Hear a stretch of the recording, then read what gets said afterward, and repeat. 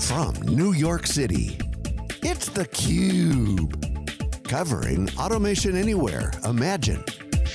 Brought to you by Automation Anywhere. We're in Midtown Manhattan at the Automation Anywhere uh, Imagine Conference 2019. Really excited to be here. 1,500 people talking about RPA, but really the RPA story is much more than just robotic process automation. It's really a new way to work, which we hear about all over the place, and really reimagining what this technology can do. And we're excited to have our next guest. She's Shelly Kramer, an analyst and partner for Futurum Research.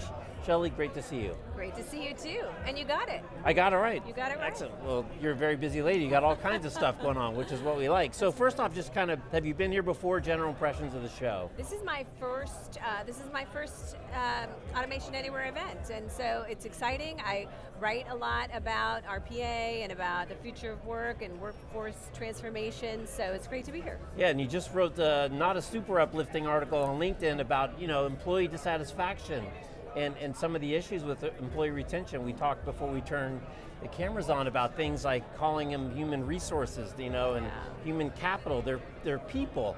And I thought Mihir really touched on it well in the keynote today, that this is not a rip and replace technology for people. This is a tool to help us do our jobs better, just like our laptops and our mobile phones and our applications. So, are you excited about the opportunity? Do you see it as this transformative?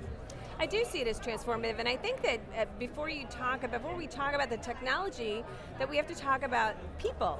And um, you know, some, some, uh, and I'm pulling this out of my memory banks. So, uh, on average, about 82% of employees within any organization are disengaged. Okay, 82%. So the ping pong tables and the foosball so tables not, are no. not doing it? And so when you think about it, an engaged workforce are people who wake up in the morning or whenever it is they go to work and who are excited about what they're doing, excited about their company they're working for, love the culture that they're working within, love all those things that they're doing. And so when you realize that 82% of people are disengaged, that's problematic. Right. Then you're talking about the toughest talent acquisition market that we've had in a really long time. So we're all fighting for top talent, not just top tech talent, but any kind of talent. Right.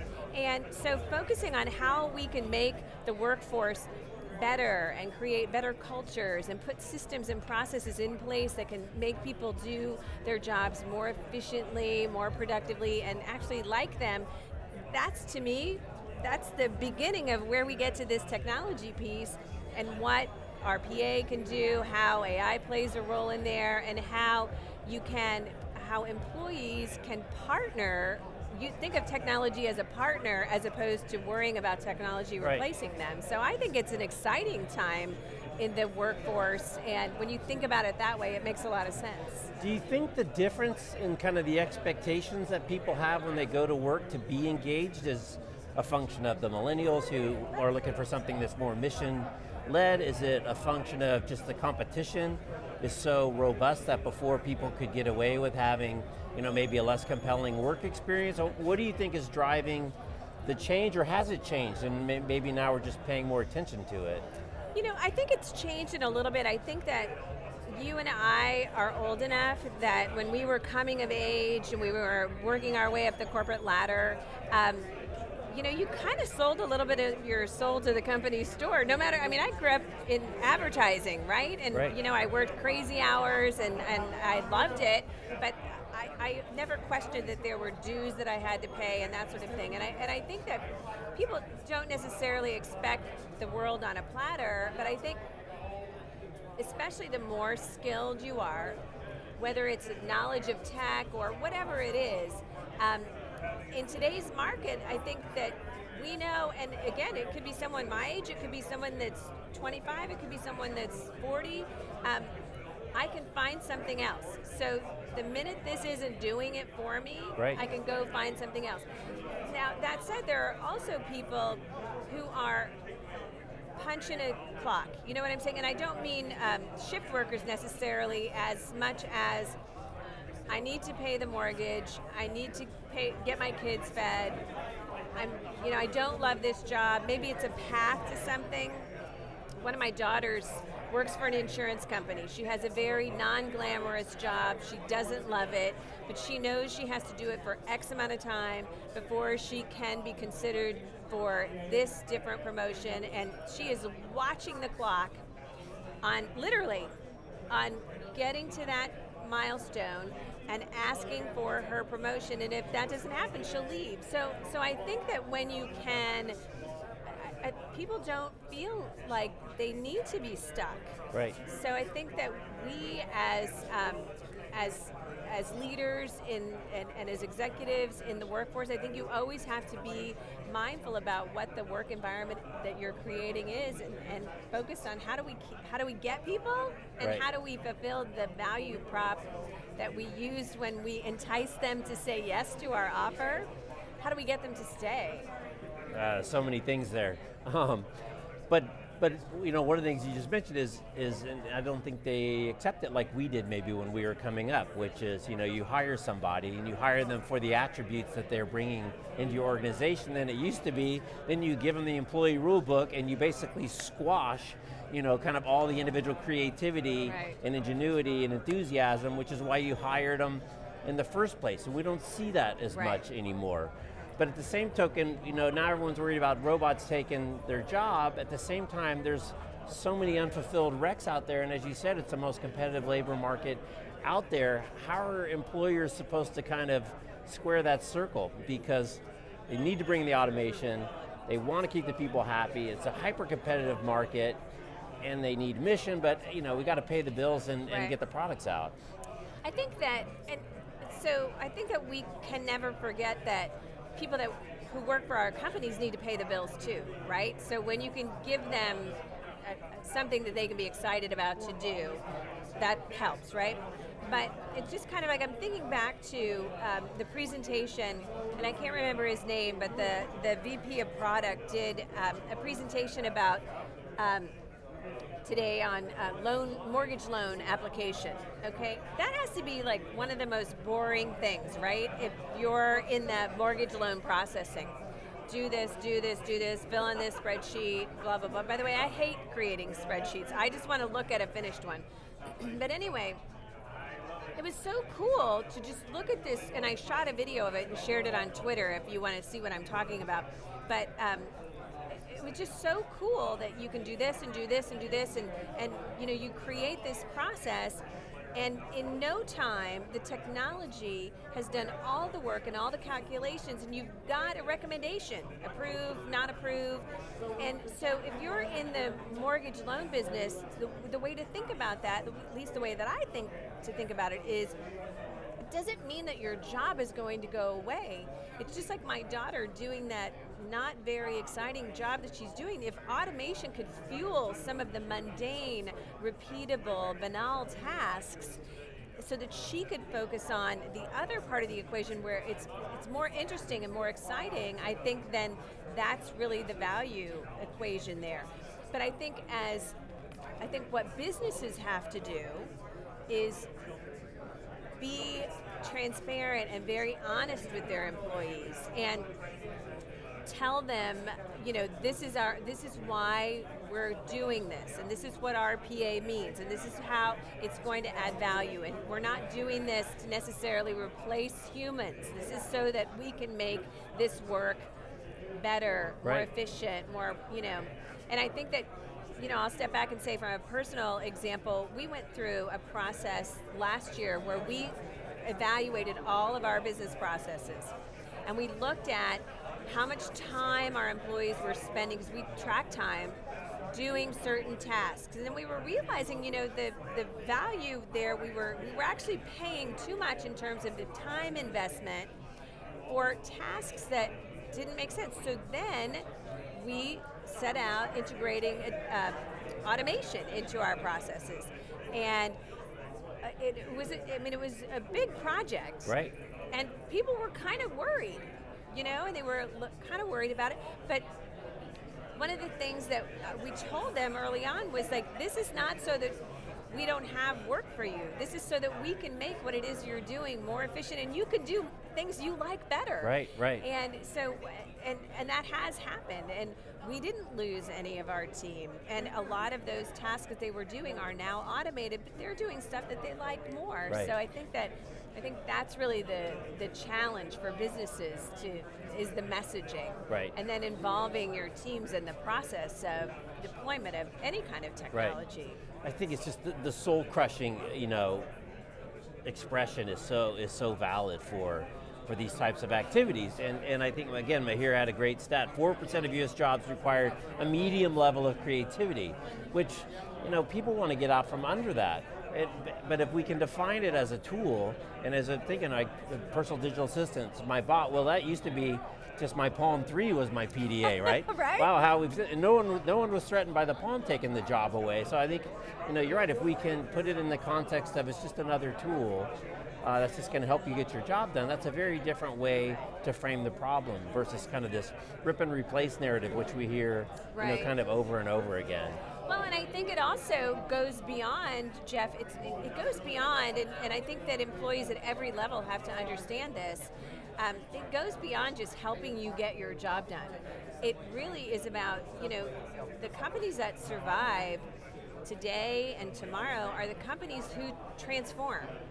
And you know, we talk a lot about digital transformation, and and you know, I, am out there on the front lines all day, every day, and, and I can promise you, there are many, many companies who are far from really understanding and embracing this and, and understanding what it takes from a technology standpoint and the value that data adds and how to use that data and um, and, and the impact that that has on customer experience and all that sort of thing. So, so I, think it's it really is about much more than this will make your job suck less. Right, right, right, right. I think it's about this is how our company stays successful. This is how you help make your job and the role you play within our organization what you want it to be. Right. And and I think that you can probably tell, you know, I'm in marketing because I, I'm always thinking about, you know, how I you know, how you spin something, and I don't mean in a spin like a PR way, but you, I think we all have to step back and think about it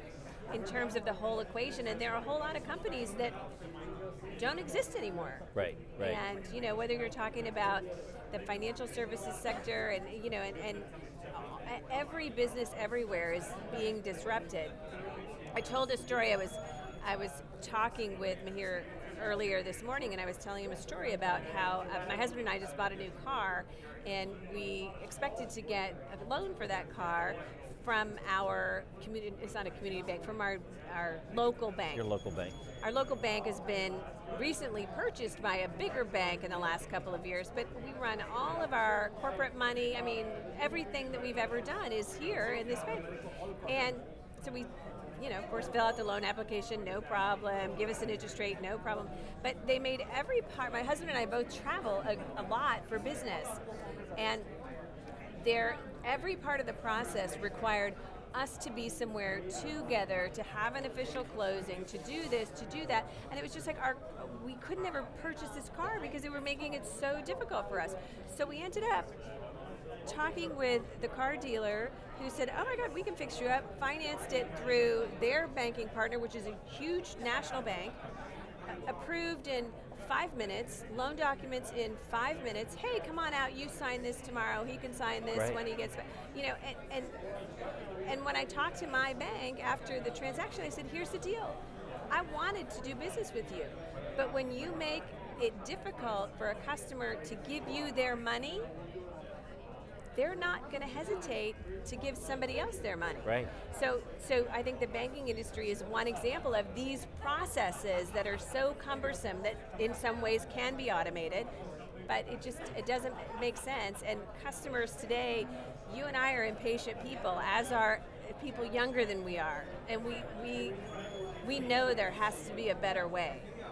Well, Technology can give us a better way. right, and you know they can use different data sets. And right. I mean, I bought some stuff recently, and you just push the button on the phone, and it takes a minute. The wheel spins, and then you're approved, right? And you're done. It, you're done, and it's it's a completely different experience. But the the part about the digital transformation I wanted to follow up is it came up today, where a lot of times people are the integration point between these systems, very similar to the to the example you just used. And you can't digitally transform if all these automated systems ultimately have to bottleneck through Right. some person to take this piece of data and Right. stick it over there. Right. So it's it's it's absolutely critical Right. to get those people out of the way. Right. So as you look forward 2019, what are some of the big trends beyond uh, RPA and kind of personal digital assistants, not called Palm, uh, that, that you're seeing and that you're excited about? Well, I think that um, you know it's hard not to be excited about RPA, just simply because of you know it's predicted to be at 1.9 billion this year, and to almost double by 2021. I mean, it, makes sense that companies like um, Automation Anywhere are doubling down on that, Right. right? It also makes sense that gigantic companies like IBM and Deloitte and EY, I mean, They're all here in force. They're all here, Right, right? right. Um, there's a reason for that, Right. right? Because IBM's customers want this, and Microsoft's customers want this. So, so I think that in general, I, I think that technology is fueling our world, our our personal lives, our business world, um, and I think that probably one of the biggest things that I pay attention to and that we pay attention to is that it, technology alone isn't the answer. It's the, the partnership of human beings and their skill sets and capabilities and data and automation and artificial intelligence and all those things. So I think that I think that it's an incredibly exciting time. It's kind of like, you know, when you you go back to the video that we saw this morning in the opening keynote good. about the internet, and I- don't know if you remember this. I don't. Um, I don't know. I'm probably. I- I don't know how much older I am than you, but you know, I remember that internet machine, and wow, this is cool. like I could send an email, you know, and but then when you think about Right. how and those comments, you know, that Matt Lauer and Katie Couric were making, like, they weren't dumb comments. We didn't, didn't know. Right. We didn't know the impact Right. the internet could have, would have, you know. And so I think the same is true of this kind of technology today, this this next generation of Right. technology. So there's not just one thing I'm interested in. I'm interested in all of it. Got to keep learning, right? Because uh, we have a hard time with, with uh, we're very linear and everything's growing exponentially. So you got to got to be willing to uh, to learn the next thing because it's know- right around the corner. And, and I think that's so key. That's that's a great wrap. Um, I think that people who are happiest today are people who actually love change and who love learning. And I would say I would posit that most that those are not inherently things that people traits that people possess. I'm lucky because I do. Um, but you see what I'm saying? I think that I Yeah, think it's, a- it's an beings- I interesting think- question. I Whether that's inherent, if there's just people that like to learn and are curious all the Yeah. time, and the st- and and, the, and then they got the stick in the muds, and can the stick in the muds change their attitude and become learners again? Uh, Or, we- well, maybe they won't. I mean, you know, I think that there, I, I, I do think that there are people who are wired to like change and to are curious and who love learning. And I think there are a whole bunch of people who are not. yeah. And I would, uh, I truly believe that for success in today's world and moving forward, for young people and not so young people, you better get there. Yeah. If that's not your deal, because I don't think that, um, and I and I and I have stumbled across conversations of people having like, you know, well that's not going to happen, you know, so I don't have to worry about it because I'm going to be out of here by then. Or and you know what? There are a whole bunch of people that have that mindset, Yeah. and that's a okay. But especially for young people making their way. It's an A-OK mindset, but it's not the fact. That's that's No, the the problem. fact. it's it's it's happening. Now, I mean, the future is is here and it's happening at a faster pace. Well, Shelly, we could go on and on and on, but we're gonna have to leave it there. And uh, I appreciate you taking a few minutes out of your day. Absolutely, my pleasure. All right, she's Shelly. I'm Jeff. You're watching theCUBE. We're Automation Anywhere Imagine in Midtown Manhattan. Thanks for watching. See you next time.